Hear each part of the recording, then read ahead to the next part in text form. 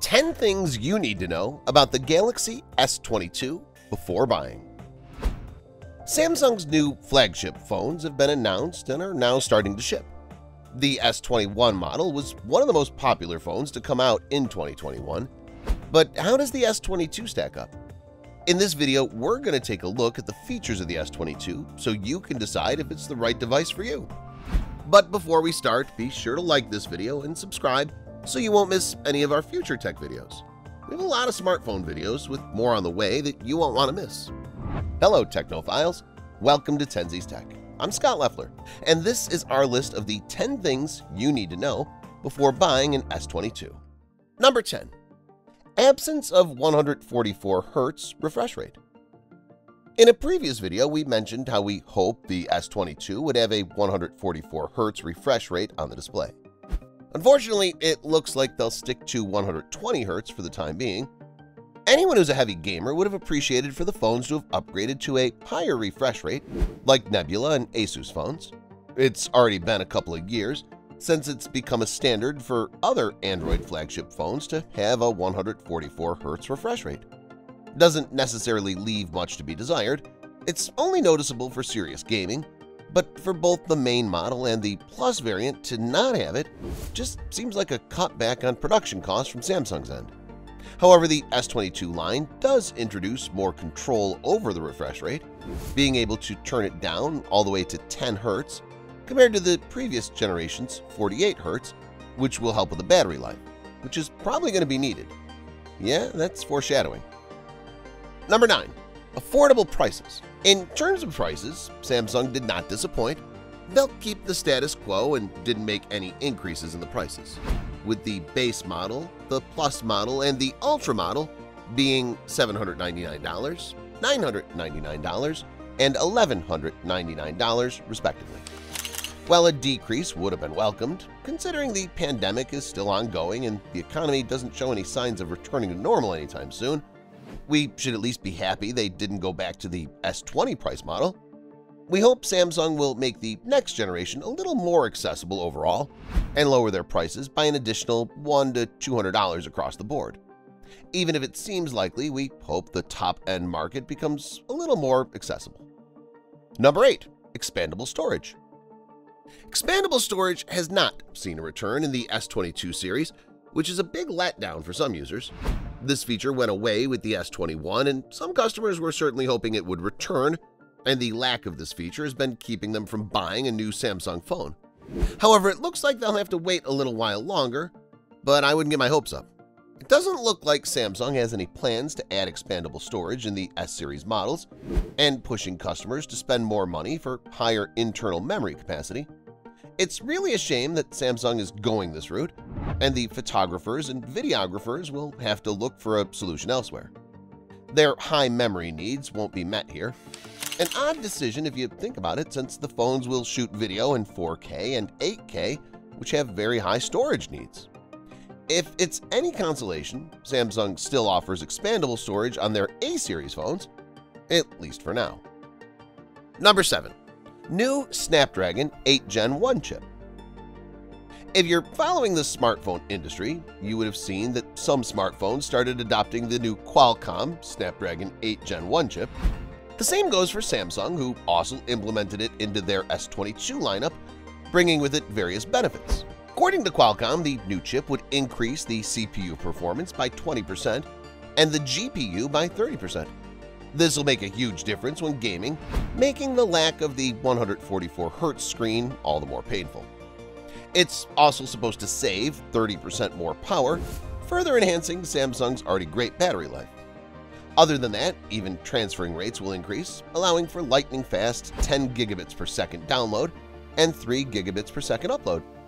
Knowing that Samsung and Qualcomm are in close connection with one another, it came as no surprise that the chip was included in the new lineup, Unfortunately, only the American model comes with the Qualcomm chip, as the European ones still use Samsung's own Exynos chip. Number 6. Faster charging speed Like any Samsung flagship device, the charger is no longer included as part of their efforts to go green. The Galaxy S22 Plus and S22 Ultra now support 45-watt fast charging via USB-C, while the base Galaxy S22 settles for 25-watt fast charging.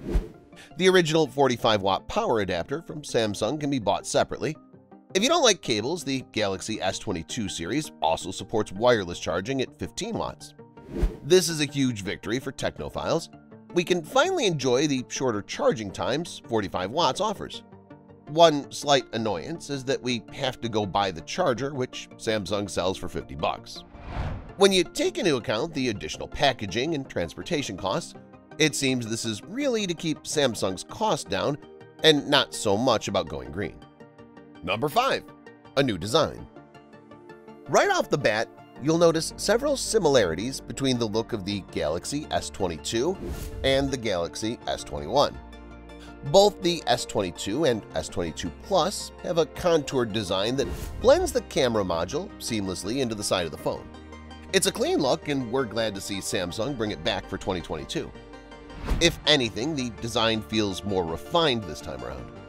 The S22 is also a bit smaller than the S21, which isn't inherently bad or good since it's all about your preference, but this does mean your old cases aren't going to fit this new phone. While the phones are smaller in all measurements, the reduction in the thickness and width is so small it's almost negligible. The main difference is the length. The S22 is 0.3 inches shorter and the Plus model is 0.1 inches compared to last year's models. This should make it easier to hold and operate in one hand.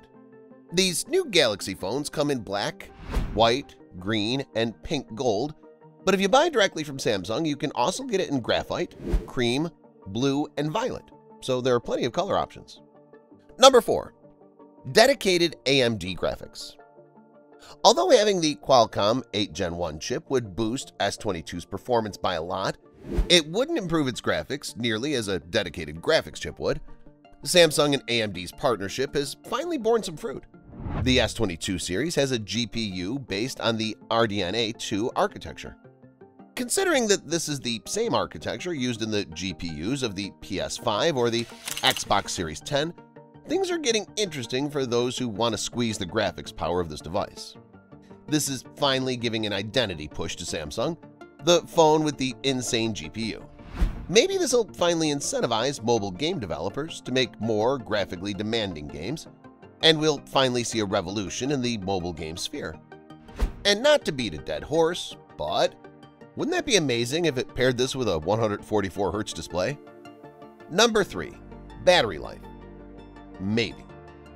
While a smaller phone can be nice, it also means that there's less room for things like expandable storage and, yes, bigger batteries. Well, with the S22, the batteries have taken a hit in the new generation. The new phones have their batteries cut by 300 mAh, which is about 6% on the Plus and 8% on the standard S22. We have no idea why Samsung did this. This is the only specification that's taken a significant step back. The only real question is if the smaller battery translates into shorter battery life. Some earlier consumer testing suggests that it will still last at least a full day, but it all depends on how you use your phone. Still, we would have liked to have seen an upgrade here, similar to what Apple did with the iPhone 13. It was one of the biggest battery upgrades ever in an iPhone, with the Pro Max variant being able to last well over 10 hours. And with Samsung's A-series phones nearly all having batteries that are at least 25% bigger than Plus and 35% bigger than base S22. So if battery life is a big priority for you, the S22 is probably not going to cut it. Number 2. New cameras Samsung Galaxy S21 had a good set of cameras, but the S22 doesn't really improve on it at all. In fact, they might be a bit worse.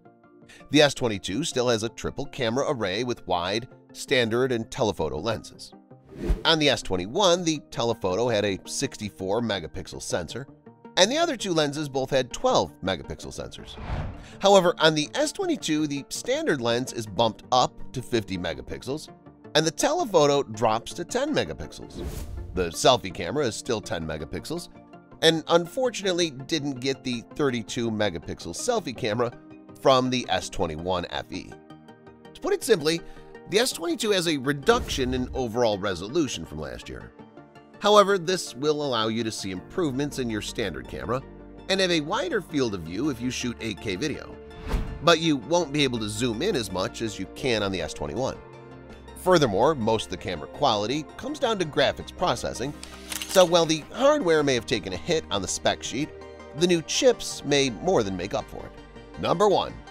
Display Yes, we've been unhappy with the lack of 144Hz display, but to be fair, that's really nitpicking, and we have to admit that the S22 has a great display. The new phones sport a 6.1-inch and 6.6-inch displays for the base and Plus respectively. The Plus is fitted with a blinding 1,750 nits of brightness, while the base model is stuck with 1,300 nits.